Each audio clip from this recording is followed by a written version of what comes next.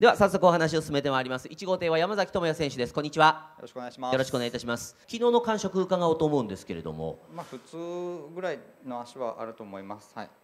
悪くは？まああんま乗ってないんでわかんないですけど、うんはい。あの特に昨日何か問題があるようなところもなかったかな？そうですね。はい。あのいつもの桐生としたらまあまあ本当におっしゃった普通まあ普通です。はい。あの今日ドリーム戦、まあ、ドリーム戦の前にねもう一回レースあるんですけれども、はいまずどんなことからやっていこうという感じですか、うんそうですね。まあペラぐらいしかやらないと思います。はい。うんちょっとプロペラの様子を見ながらはいということ、あの調子なんかについてはまた後で伺おうと思いますけれどもどうですか？そのお盆正月、まあ、ゴールデンウィーク地元戦がねやはり入るわけなんですけれどもそういう時での走る心持ちっていうのは？まあ次大きいのも控えてるんで、うんはい。なるべくいろいろ勉強して帰ろうと思ってます。はい。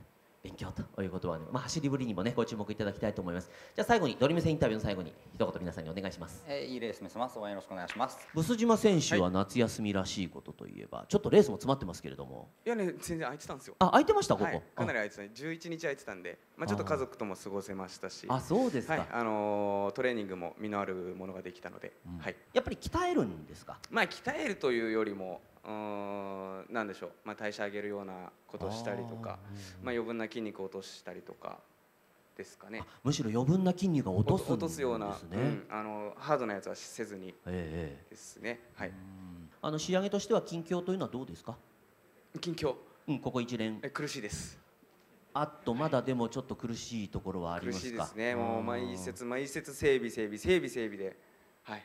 え手が手が荒れてますよもあ手荒れるんですう。か、はい。油ばっかりいじってる。あそうか、はあのいいハンドクリームあったら紹介い。してぜひお願いします。最後に皆さんにレースに向けてのメッセージ、そうですね。あのー僕も頑張りますけど、あの六号艇の同期の新藤君初めてのドリーム戦でちょっと緊,、緊張してたんで、はいちょっとほぐしながら、はいあはい、僕も頑張りたいと思いま。ますす、はい。ありがとうございますぜひ楽しんでってください。江口昭夫選手でございますこんにちははい、こんにちは。よろしくお願いします。江口選手の夏まあその空いた時間がもしあった時の過ごし方っていうのはいかがなんですか？いや、ここ来る前ね、2日しか空いてなかったですけど、はいあの金沢とか行ってきました。ああそうですか、はい。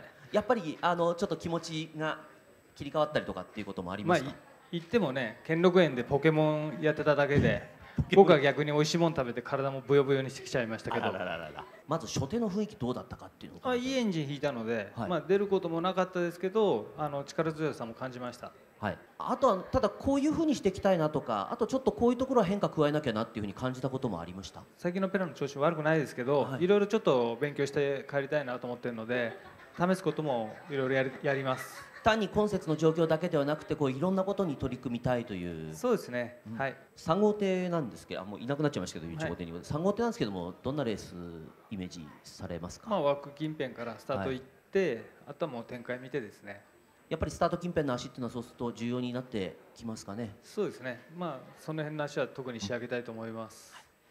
じゃあぜひとも最後に今節に向けての意気込み皆さんに一言お願いします。はい精一杯頑張ります。秋山直之選手に伺います。こんにちは。こんにちは。よろしくお願いします。お願いします。秋山選手は実は前節ご一緒の斡旋でしたんでちょっとレース詰まってますね。詰まってますね。詰まってますね、はい。間の時間はほとんどまだなまだ夏休みはちょっとこれからですか？まああとは2節走ってあの一区切りつくので、はい。今節手にしたモーターあの数字的には実績のあるモーターなんですがどんな手応えだったかお話しいただけますか？まだ今のところははっきりは分かっていませんけど、もう信頼していこうと思います。あのそれはあの気力のあるモーターだということを？まああの黄色プレートなので、あのご自分の形の作業ですかねいつものいやこのままの状態も含めて考えています。4号艇ですけれどもどんなふうにレースを運んでいければなというふうにイメージされることありますでしょうか？レースイメージはないんですけど、自分のレースを精一杯やろうと思います。最後に皆さんに一言お願いします、はい。えー、一節間精一杯やります。5号艇久田俊之選手ですこんにちははい、こんにちは。よろしくお願いしますまずはじめにダービー出場決定おめでとうございますあ、はい、ありがとうございます。レースの方もちょっと伺いたいんですがモーターの感じは昨日どうだったか？うーん、ちょっと伸びるかなぐらいですかね。あでもちょっと伸びる感じがあった。うーん、一回乗ってるんですけど、あのダイヤモンドカップの時に乗ってるんですけども、その時とはちょっと違いますね。あそうですか、はい。5号艇なんですけれどもレースはどんな風に？気持ちはねあの内枠4人の方がはい。あのメモリアル控えてるんではい。あのチャンスですよね。なるほど。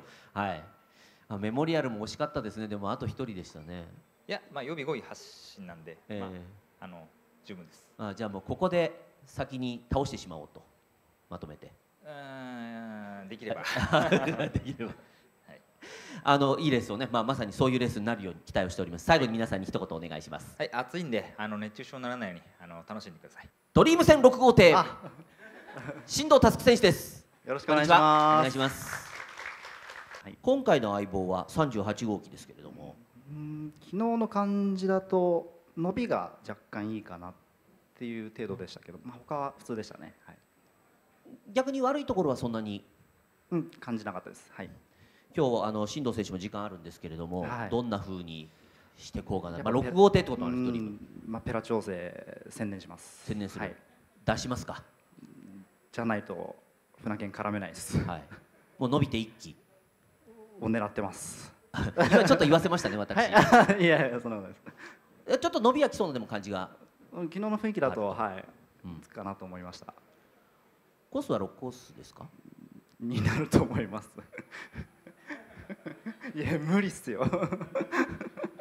無理ですね、はい。無理です、はいぜひともいい調整してねね。事故だけないように気をつけてはい。頑張っていただきたいと思います、最後に皆さんに、はい。えドリーム戦に向けての意気込みをお願いします、はい、えー見せ場作りますので応援よろしくお願いします。新藤佑選手でした。ありがとうございました